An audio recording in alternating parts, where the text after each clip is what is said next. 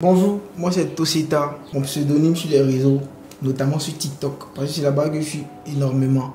C'est pas, comment on dit ça, un pseudonyme comme ça, parce que c'est aussi mon prénom.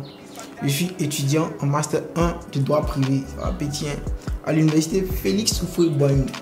Je dis bien Félix Houphouët-Boigny, parce que certains qui me demandent, t'as eu KO Non, je suis à l'université Félix Houphouët-Boigny. Et je suis arrivé sur les réseaux, notamment sur TikTok.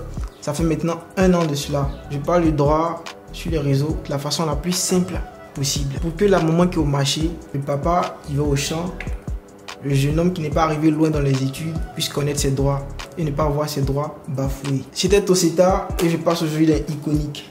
Surtout n'oubliez pas, il y a ma page Facebook Toseta qui a été piratée. J'ai créé une page c'est Toseta vrai qui a été piratée. Il y a mon compte personnel d'Otoseta qui a été piraté.